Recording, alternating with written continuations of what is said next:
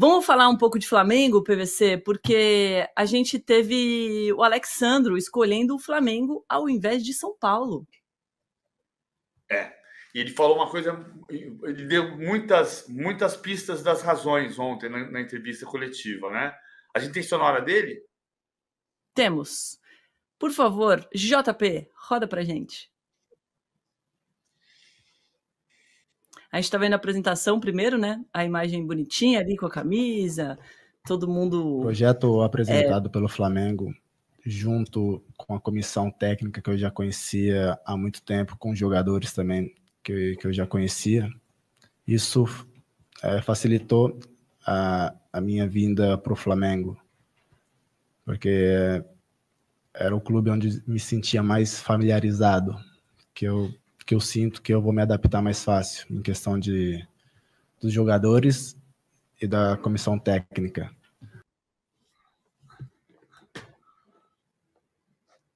Essa foi uma das pistas, né? Foi, assim, o Tite, ele tem uma confiança no trabalho do Tite muito grande.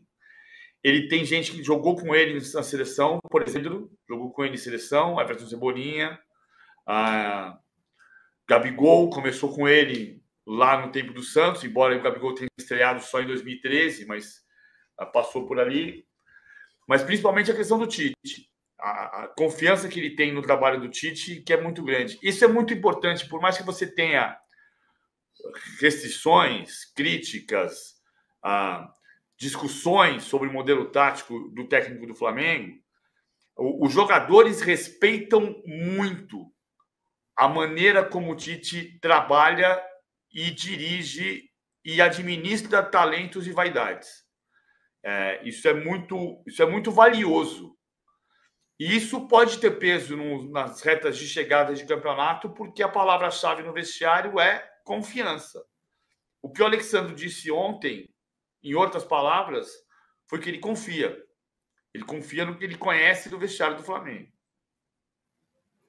É, isso no final das contas é o que faz a diferença, né, na carreira do jogador jogar com um treinador em que ele confia, que pode fazer a diferença, né? Eu, eu acho, vou tentar ampliar, talvez seja piegas. Eu acho que isso faz diferença na vida. É, a gente olhar, olhar no olho da pessoa, saber que a pessoa pode cometer erros, pode cometer deslizes, mas que você sabe, você conhecer, você saber que o cara trabalha pelo, pelo para dar certo. Trabalha para você. Você confia. Você vive a tua vida de mão dada com quem que você não confia? Não. A Galima mandando aqui, ó, o Tite, se não atrapalhar, já está ajudando muito. Ele não tem a confiança de uma parte da torcida, né? Não, eu, mas eu acho que tem um ponto que é que, que o Flamengo, o Flamengo pode perfeitamente chegar no final do ano e achar que o Tite não combina com o Flamengo e dispensar o Tite, não renovar com o Tite, enfim, não tem, não tem nenhum drama nisso. E na vida do futebol brasileiro, até a demissão no meio do campeonato, que eu não acho o melhor caminho, o Flamengo tem chance de ganhar o Brasileirão, a Copa do Brasil e a Libertadores, tá? tudo isso é muito legítimo, não é, não é esse o problema. Agora, só acho que o Flamengo não pode ser refém de um tipo de jogo quando você não consegue fazer. E isso eu vi muito o Flamengo nos anos 80. O Flamengo foi muito refém de um jogo absolutamente espetacular de 81, 82, quando o jogo não era tão espetacular em 83, 84, 85, 86. E mesmo em 87, que não foi tão espetacular, mas foi campeão da Copa União. Ah, então, o, Flamengo tem que buscar os, a sua identidade. Claro que tem tem que buscar o seu jogo bonito, a sua capacidade de contagiar e transformar o Maracanã, como vem sendo desde 2019, o maior espetáculo da Terra. Mas não pode ser refém disso. Isso é uma busca por isso. Não pode ser prisioneiro disso. Alex Fergus manda aqui, ó, o que faz a diferença é o dinheiro, né? Sobre a, a, escolha do Alexandro pelo Flamengo. Até vocês fazem isso, kkk. Eu vou ter que discordar nesse quesito, porque jornalista claro. e dinheiro são palavras que não andam na mesma, na mesma frase, se você, obviamente, não for o PVC, que é o meu caso. eu não acho não que jornalista escolhe trabalho por dinheiro. Mas no caso do Alexandro, é, pode até ter sido, mas no final das contas, a, o dinheiro é, a não ser que você vá para a Arábia, a diferença é muito pouca, não, PVC? De um clube para o outro. Não, eu acho que ele estava ganhando mais na Juventus do que no Flamengo. Provavelmente ele vai ganhar mais no Flamengo do que no São Paulo. E é possível que esse fator financeiro seja um aspecto levado em conta. Claro, qualquer pessoa, quando recebe uma proposta de trabalho, ah, você, você põe na balança tudo. Eu já, eu já mudei de emprego para ganhar menos. E já mudei de emprego para ganhar mais. E, e, se eu não estiver feliz no lugar, pode apostar que eu vou tentar sair. Então, assim. Agora, dinheiro é uma parte da história, mas não é toda a história. Ó, a galera votou aqui no troféu trocadilho pro Cleitinho, tá? O seu não fez sucesso, mas o Daniel Pamplona entrou nessa briga aqui. Que mandou é que os jogadores veem no Tite uma figura de pai. Ai, agora eu tô na dúvida qual que eu gosto mais. Eu acho que eu prefiro que o Corinthians não esteja de palhaçada. E você? Eu gosto mais do Depay do Depay. E agora, chat, vocês votam aí. Eu pedi para nossa produção aqui, ó, um carimbinho, troféu trocadilho, para a gente usar a partir da semana que vem ou quando ficar pronta a arte, porque a gente merece. Esse chat e esse elenco do de primeira é o melhor de trocadilhos do Brasil, hein? Já aviso. Vamos ver o que o Bruno Spindle falou sobre priorizar campeonatos no Flamengo? Olha só. Aí a gente vai fazer de tudo aqui sem é, priorizar a competição para que a gente possa seguir vivo e lutar pelos três títulos. Já fomos campeões cariocas esse ano e quem sabe aí também lutar pelo, pelo Mundial no final do ano.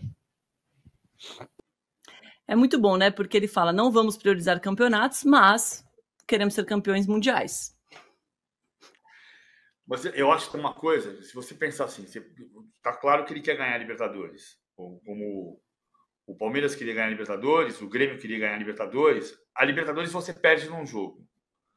Eu, para mim, a prioridade sempre tem que ser ficar vivo no brasileiro.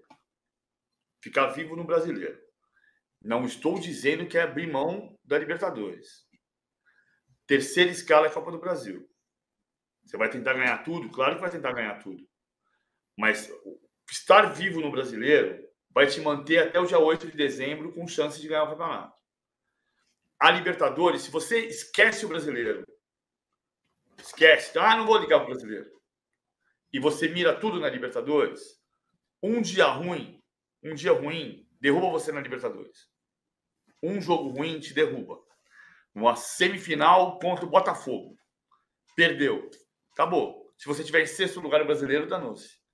Então, é claro, eu não estou falando de abrir mão da Libertadores. Não se trata, é tentar ganhar a Libertadores. O Bruno Spinner deixou claro isso. Mas não pode abrir mão do brasileiro.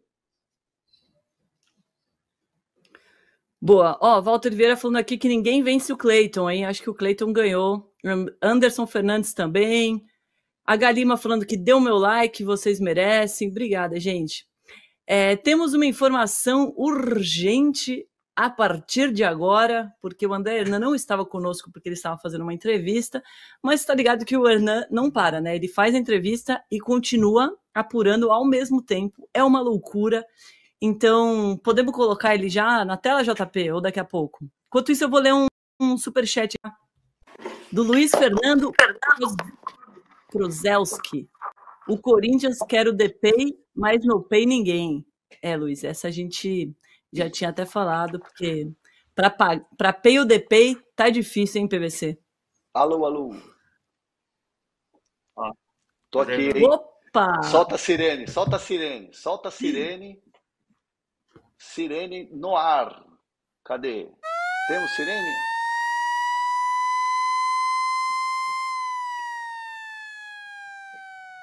O Conta tudo, André. O Corinthians acaba de receber né? Cerca de 30 minutos, a direção do Corinthians recebeu sim a sinalização positiva do staff do DPI. É, ele é aguardado aqui no final de semana, já fechou, são dois anos de contrato, né? Como eu vinha falando desde o início dessa negociação. Uh, o Corinthians recebeu uma contraproposta ontem à tarde, né, do staff do DP, com alguns ajustes, principalmente na questão final do mês do salário. O Corinthians, à noite, envia um ajuste na proposta e agora recebeu a resposta positiva. A informação que eu tenho é que o DP tinha a ideia de fazer algumas participações na questão do marketing do, do Corinthians, né? Venda de camisa, ações. Então o DP queria participar diretamente disso e com os ganhos, claro, né? Então esse ajuste foi feito.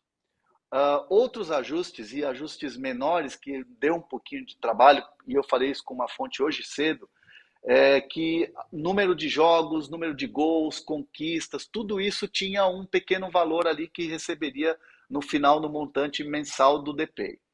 É, o Samir Carvalho trouxe a informação de que o Corinthians pagaria entre 2 e 2 milhões e meio para o DPI.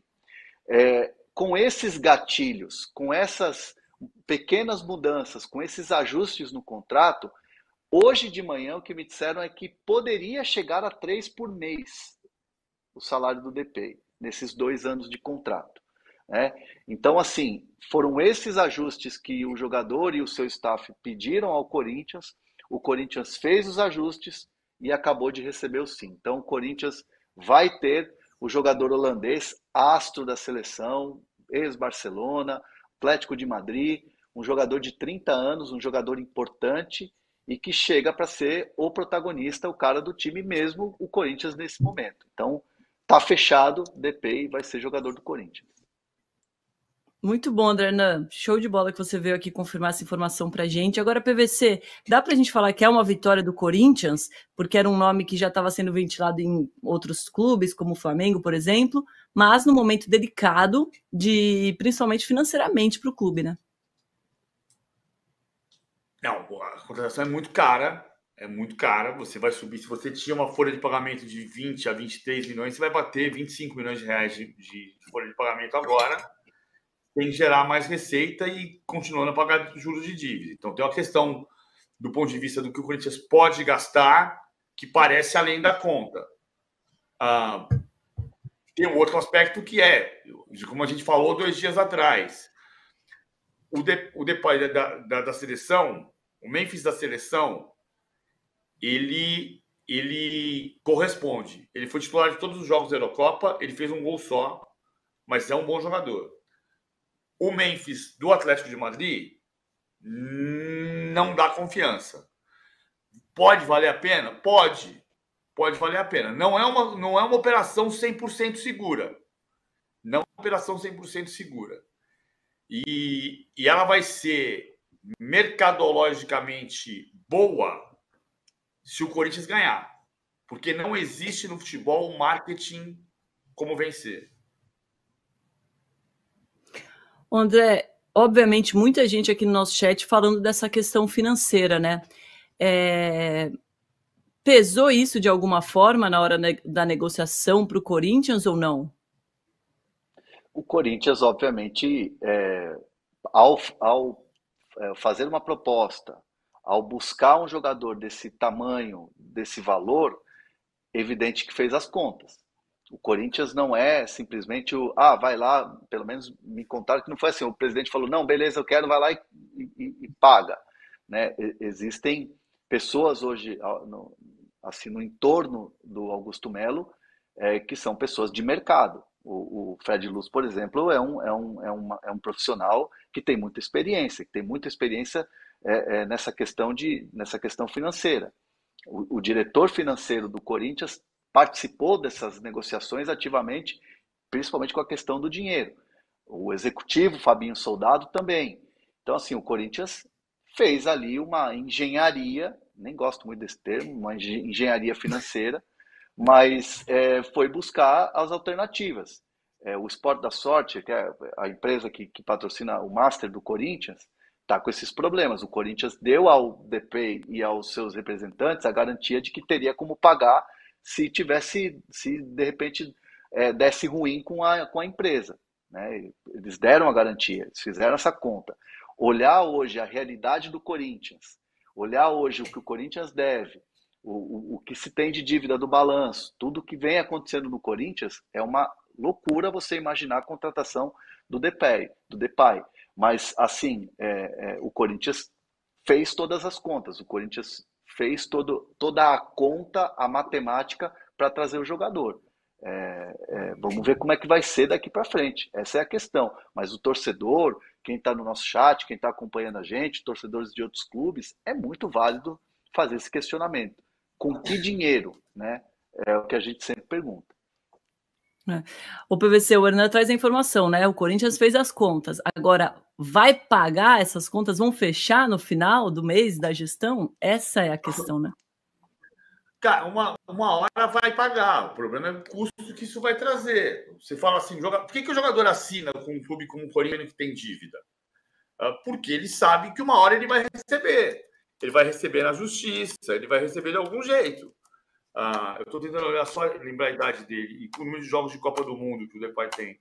Mas olha só. O Depay tem 30, né? Ele é um jogador. 30, né? Hã? 30 anos, 94. 30. 13 de fevereiro de 94, 13 de fevereiro de 94. Uh, e são uh, quatro mais cinco, nove jogos de Copa do Mundo, com três gols. Nove jogos de Copa do Mundo, três gols. Uh, é um jogador, de, é um jogador de nove jogos de Copa do Mundo. Você vai dizer o quê? Não, não, não serve? Aos 30 anos? Serve. Agora, a temporada dele no Atlético de Madrid não foi boa. E a gente, às vezes, muitas vezes a gente confia numa coisa que é a seguinte: ah, mas é, no Brasil o cara vai deitar. Não é sempre assim. E veja, não é porque o cara. Vou, vou dar um exemplo, um exemplo banal. Tá? Uma operação que foi muito defendida do ponto de vista financeiro lá no passado. Lembra quando o Ronaldinho veio para o Flamengo? Ficou entre Grêmio, Palmeiras e Flamengo e acertou com o Flamengo. E tinha toda, todo o respaldo de um contrato com a Traffic, e que a Traffic ia pagar, ia fazer o marketing, ia, ia gerar o dinheiro e o Ronaldinho ia pagar o próprio Ronaldinho numa operação parecida com o Ronaldo Fenômeno. A operação Ronaldo Fenômeno no Corinthians foi um sucesso estrondoso. A operação Ronaldinho no Flamengo não foi. E chegou um momento em que o Ronaldinho não recebia o que estava prometido e não correspondia em campo. Aí você vai dizer, mas o Ronaldinho não podia ter sido contratado? Faz duas contas aqui. O Ronaldinho Gaúcho no Flamengo foi um sucesso, sim ou não? Talvez, sim. talvez não. Talvez não. O Ronaldinho Gaúcho no Atlético foi um sucesso? Porque ganhou. Foi. Foi. Então, assim, para mim, não tem nível de comparação. Vou eu da minha resposta agora. O Ronaldinho no Flamengo foi um jogador nota 5. Ele não foi um fracasso, mas ele não foi um sucesso. O Ronaldinho no Atlético, depois, foi um sucesso. E ele estava mais velho. Então, cara, é a relação que você, que você constrói. O, o Depay pode não ter ido bem no Atlético de Madrid porque o vestiário estava quebrado, porque o time não estava bem, por uma série de fatores. Fato é, eu, o Depay da última temporada, eu não contrataria. Não contrataria. Isso significa que não vai dar certo? Eu não, eu não tenho bola de cristal para saber. Agora, o nessa relação, quanto pergunta tem, quanto ele jogou no ano passado, eu não contrataria. O, o PVC e Domi, eu acho assim que o que vale é a gente pegar como exemplo. Acho que você foi, foi perfeito nesse nessa de falar do Ronaldinho Gaúcho. Mas eu pego, por exemplo, o exemplo do Rames Rodrigues no São Paulo. A gente lembra na entrevista coletiva o presidente Júlio Casares mostrando camiseta do Rames Rodrigues, copo, e falando que ia ter uma série de ações de marketing que iriam ajudar a pagar o salário. E, e não teve nada disso. O Ramos Rodrigues jogou 10 partidas, né? Então, assim, é, obviamente tem um potencial gigantesco do, do Depay virar um, um, um, produto de marketing do Corinthians, camisa, né? É, é, venda de camisa, ações com sócio torcedor, com fiel torcedor. É, obviamente que isso tem um potencial muito grande mas o desempenho do jogador, o que ele mostrar dentro de campo, a vontade dentro de campo, vai ser o fio condutor de tudo isso.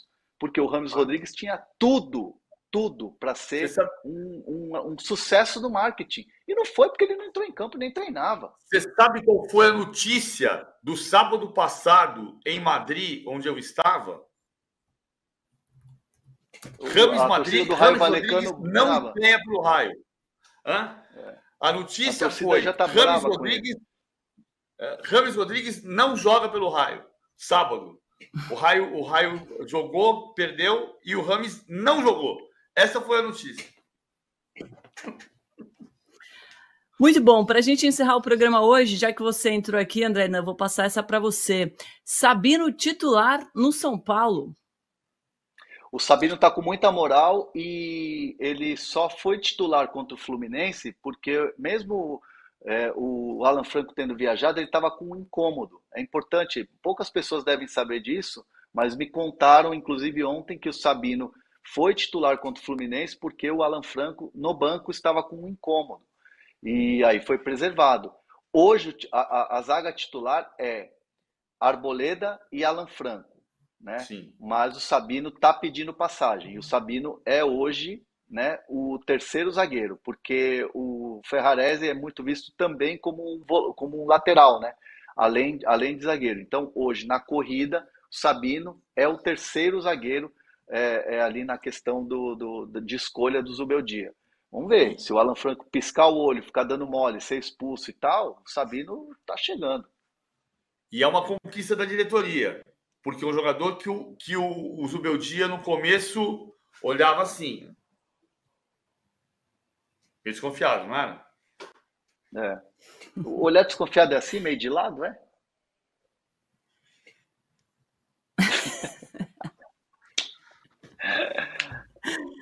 é. André, ó, a gente acabou ó, de criar um quadro.